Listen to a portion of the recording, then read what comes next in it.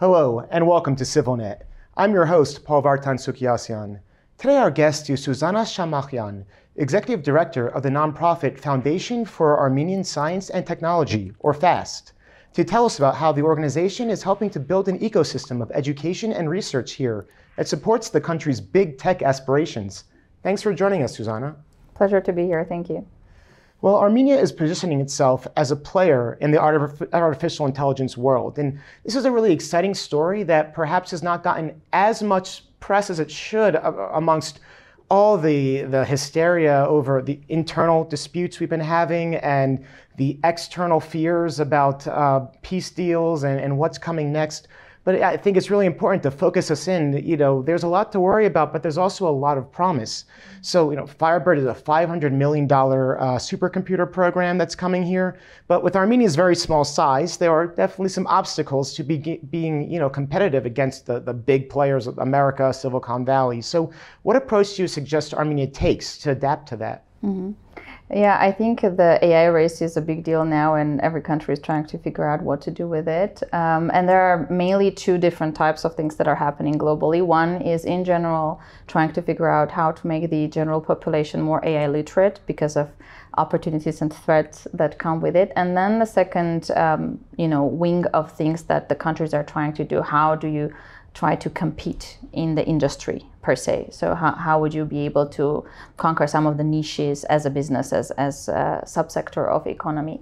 Um, in case of Armenia, I think the AI history starts a bit earlier because of the legacy in technology and mathematics that the country had, and then also uh, tech sector that has been trying to develop in Armenia for the last 20 years. There have been a lot of things going on in the, in the sphere of software development, but the real talk around AI started maybe seven, eight years ago when a couple of research labs appeared appeared.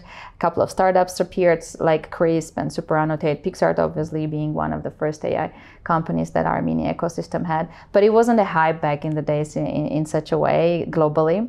Um, and I think Armenia is now among the countries that is trying to understand how it will be able to compete. Uh, definitely, we do have the talent, and we already started unlike many ecosystems. Uh, as a small country, we do have some density of activities, uh, again, uh, per million population, the amount of companies and engineers we have is quite decent.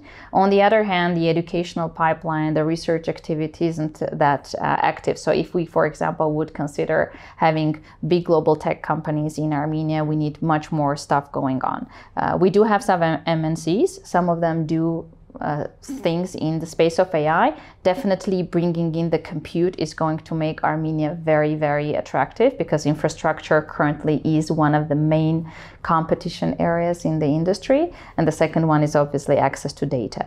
Armenia can never compete in the space of data because we're just too small. Whatever we will have in the space of data, it won't be very com- competitive. Uh, so bringing such infrastructure is a big enabler. Now the second nut to crack is how do we make sure that the talent and innovation pipeline here in-house is also really fast so that we just don't become a location for big tech, but we also ourselves are very, very dynamic in that space. Well, yeah, you want a population that's AI literate and tech literate to go along with the aspirations. And something you mentioned uh, was that whole idea of literacy. And um, like with AI fast becoming a major part of our lives, both the, in good and bad ways, uh, you know, there are those questions of AI ethics and harms that can come from it, and we're seeing those possibilities out there. And we don't want to be we don't want to be taken advantage of by it. So while everyone can't be an expert in our whole population, there's definitely a need for everyone to have some degree of that literacy. So what does that look like? And you know, especially for non-specialists and just the regular people in the school curriculum or the general workforce, and you know, what's FAST doing towards that? Sure. Um, I think uh, there there is a lot of uh, discussion around this, and it's important for the audience to understand that there are several layers of AI education. Uh, oftentimes, when people hear AI education, they mean the literacy, but AI education has several layers. Uh, one of it is the literacy, so any anything that any human being has to know, similar to digital literacy and other things like that. Second is how do you use the AI tools in your work, for example, um, to increase the economic productivity. So, in general, the usage of AI tools similar to automation processes and digitalization in the previous era can have a significant economic development impact on various sectors, right? Anything from GovTech to agriculture to marketing, etc. And then the third layer is the AI creators per se. So, how do you educate the future engineers, researchers who are creating the technology? So, when people say AI education, these are these three layers. What we do at FAST, uh, the program Generation AI, is oriented particularly for nurturing future innovators. So the AI creators, basically. We are starting from school, teaching math, computer science, machine learning, and we want to make sure that we create enough opportunity for our younger generation in all marzes um, to be able to become an AI researcher. And because Armenia is small, again, going back, we will never be able to uh, compete in quantity. We have to compete really, really in quality. So that's uh, what we are focusing on to create enough high quality talent in Armenia. But there's a lot of things going on uh, in the AI literacy space as well. We are currently in touch with the Ministry of Education, and because what we do is already with the public system, so it's part of the system change, but on the advanced education uh, side, we are now discussing how we can engage the AI literacy curriculum into the school system starting from elementary up until high school. Because the government has now quite interesting computer science um, curriculum that is part of their big STEM reform curricula. And there will be a revision process uh, now going on in the country, and we're supporting that process. And part of that will be most likely to include some AI literacy subjects into this new reform so that at large, all kids in the schools will be able to get the literacy. Uh, important thing here is that the literacy aspect, actually, when you look into the international frameworks like UNESCO, OECD has just recently published a couple of frameworks half of it is not about AI. It's mm-hmm. about critical thinking. It's about analytical thinking. It's about knowing how to ask questions and then analyze the answers because that is at least half of your interaction with the AI. In, a, in order for you to be able to properly use AI and then protect yourself from any biases, ethical challenges, and other things, you actually have to have very strong critical thinking um, and um, cognitive uh, skills. So half of these frameworks are actually about teaching people how to think, analyze, etc. Um, many of the fears when it comes to ethics are often just general ethical fear, fears. Just AI ignites this discussion even more because vulnerability is much more accessible at the moment and you cannot stop the population from using it. What you have to do is to make sure that overall literacy level of the public is high, then the digital skill literacy is high, and then on top of that, the AI literacy is high. That's interesting because I didn't really realize that so much of the AI education would not be just specifically using the AI, but I mean, everyone knows that we need critical thinking here and everywhere in the world right exactly. now. We need it. So it's great to hear. And the younger generation is always just an exciting, uh, they're, they're so dynamic and it's always, you know, great to see what they're doing. So uh, in order for Armenia to move forward, you know, we also have to think about uh, where it's failing and, and what, what's important for it in this field, for example. And, and one of the things I've heard is that knowledge transfer in Armenia is there, there's a lot of work that needs to be done there. So how is FAST you know, addressing these types of major problems and what can they do? Yeah. Um, I think the current uh, challenge that Armenia has as a small nation and also in a very complex geopolitical situation is time. We have a window of time and we have to be very smart about it. And given what you mentioned in the very beginning about the vulnerabilities and many external factors and many socioeconomical challenges that people uh, face, it's very hard sometimes to think about all these things with the sense of urgency. But there is a very high sense of urgency to make sure that we act on these dynamics uh, fast enough. If we don't, we will be under the wave. Now we have to be ahead of the curve, and for that, we need to be smarter. Now, in that sense, I think Armenia, like many other smaller nations, which are also at risk now in the AI race, because those who have access to the talent, to the capital, to the infrastructure, and to the network will be those who are competing in the AI world, and then everyone else will be basically. Um, subject to whatever decisions are being made by those uh, ecosystems. Now, Armenia, unlike many other countries, has many competitive advantages. One is its tech ecosystem and many things that have been done. Um, and the second one is the vast amount of knowledge we have in the private sector and in diaspora. These things accelerate the process very much. For example, we started developing our AI curricula of advanced AI in schools three years ago, and we have done it on individual basis, leveraging the diaspora and Armenians globally to try to do this grassroots. One and a half years later, international community has published a UNESCO uh, framework, which is very much aligned with what our experts have done for a very symbolic uh, money in a very um, pressed sort of time frame. And this proves just the fact that our individual um, national sort of capacity of involving experts globally can produce the same amount and volume and quality of uh, output as all the international consortiums. Uh, this is to say that we have enormous human capital. So if you know specifically what you're asking for and how you're going to use it, our diaspora network and our expert network can produce amazing, uh, globally competitive products, educational uh, programs, etc. So our example shows that as long as you have the actionability of things, so you know what you want. For example, you want an AI curricula for high school students, and then there are 20 experts globally, you engage five of them, and they specifically do this. They are producing amazing, globally competitive uh, product.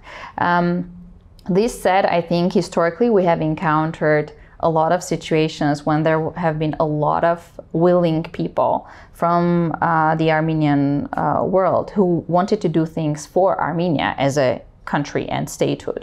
But many of them have failed and have had that feeling of disappointment. One of the big reasons for that was either lack of understanding of the local context and realities and the feasibility challenges, because in many areas there are a lot of feasibility challenges. The second was that um, ideas, we all have ideas, right? But then the implementation power uh, is the main bottleneck. So, very often, who and how, with what resources, will be doing the actual work on the ground is one of the big bottlenecks. And I think we at FAST, uh, throughout many experimentations and including failed learnings as well, we have I think partially cracked the nut on understanding how we can bring the top best knowledge from abroad, both diaspora and network of network, translate it into actionable product that doesn't diminish in any way the quality, but it's also actionable on the ground. And then pairing it with the right local capacity of implementing it so that it's end to end from idea to implementation and impact assessment. You have the entire value chain. In that case, you, you have amazing results. And I think we are not the only entity that has succeeded in this, but um, we definitely have uh, great results with this. And I think after maybe 2023, there is more and more willingness to do a lot more in coalitions and associations. I always say that I don't believe in the phrase that Armenians don't collaborate. That's not true. if if there is intention to collaborate, Armenians do collaborate. And and I want to say as much as adversary that we have all faced locally and globally uh, is devastating. But if the result of it is us being more united and us doing much more together and having bigger results, then at least there is one positive sort of um, outcome of all of us having more sense of urgency to listen to each other more, to work together uh, more. And, and we see more of that last three years. And I think in that sense, that's where our competitive advantage also is as Armenia because we have a sense of urgency to react faster because we're not sure how much time we have. Mm. So, for example, having Firebird doing something of that magnitude in Armenia is now using that window of opportunity. And then the question is how all of us are going to support this and many other uh, things to make sure that this window of opportunity is used for the best of the longer term future for Armenia. And that's one of the reasons why I wanted to have you here, because I feel like a lot of people, maybe in the diaspora, especially in the past years, have become so beaten down by the stories of war and negativity and, and loss that they're just kind of broken and at a loss as to what to do. But you never know who's watching this. And this is kind of that message to them. If you know you have a skill, whether it is related to AI and critical thinking or something else, you can be involved in it in Armenia. We just have to have the right ways for them to do it, so it doesn't end up becoming a failure like those ones that you mentioned. And there really is a lot of possibility. I'm seeing it every day here. So as a last question, um, you've talked about that there's hype surrounding AI, certainly a lot of it, but there's also opportunity. This is a real thing that can make a real substantive change in Armenia, especially a small nation like Armenia. So, what would a realistic but ambitious roadmap for Armenia's AI future look like, in your view, like both in terms of education but also the economic productivity? Mm-hmm, mm-hmm. Yeah, I think there's enormous amount of opportunity here. There are a couple of low-hanging fruits. First of all, we definitely need to try to convert the youth as soon as possible into the AI literacy space because as much as it is a hype, uh, still many many uh, young people especially of school age are not into this process uh, very much. And also they don't have proper guidance. So they their teachers and their parents mostly don't know either for, for, for them to be able to guide. So they try to sort of learn by doing and that's not the best way to do these things. Partially it is but it, ideally you would have some guidance. And then you could use the use the youth to convert the parents and the grandparents sort of at least in the space of ai literacy to make sure that the safety challenges and cybersecurity challenges that we have in general in the digital space as Armenia are overcome through maybe uh, youth being a bit more tech savvy and converting them as low hanging fruit. There are also a couple of industry areas that could be and should be converted ASAP with AI and automation in general. Uh, tech industry itself actually is not using uh, AI as much as it, it would uh, seem. So I think, first of all, engaging and enhancing the usage of proper AI tools in, in tech industry would be the low hanging fruit. And then there are digital um, also industries that could be converted. Like for example, same agriculture. Um, we have been talking about digitalization of agriculture for a long, long uh, while, and there are now already a couple of uh, efforts in Armenia to include robotics, computer vision, drones, and these types of things in the into agriculture. I think one of the problems we have, right, even in that industry, is the human uh, capital. So what if we overcome it through some of the AI and hardware solutions in par? Um, that said, I think it's also important to understand the AI agentic world as well. Um, I mean, this is a bit more technical, but AI agents could be replacing some of the workforce. For example, you can have AI teacher assistants. And if, if you don't have enough teachers, if you have the right AI teacher assistance uh, program that knows your curricula, your system, your mentality, your content, and your exercises, and helps the students, for example, learn better, you know, this could actually help us increase the quality of education with relevantly cost-efficient uh, solutions. So I think one of the big aspects is how do we convert enough amount of people to be more AI literate, and then how do we convert enough amount of people to start using those tools, and then using the word of mouth And the Armenian community. Um, engagement uh, mechanisms to spread that among the industries. Um, and obviously, the ambitious one from our perspective would be to make sure that we also systemically educate AI creators at scale. That's why we do what we do with the Generation AI. Starting from this year, we're going to have all all marzes and regions covered, all major and medium cities covered with the high school students level. Next year, we're going to have the undergrad program. So as we convert the general public and several sectors into more AI literate literate communities. We can, in parallel, educate the future AI creators who will be becoming future founders of startups, future top AI engineers, and then all the global tech companies and top research communities would want to collaborate with the AI talent here instead of just headhunting them, let's say, to global spaces. Uh, well, thank you so much, Suzanna, for that exciting look of what's really going on. Especially as diasporans, we don't always uh, we don't always get to see that. So that's why it's great to have you here to let people know and and things to look forward to. You know, this Armenia is a story of success in the making, and there's a lot that we have to, to hope for. So keep up the good work. Thank you. Pleasure to be here. And thank you for joining CivilNet.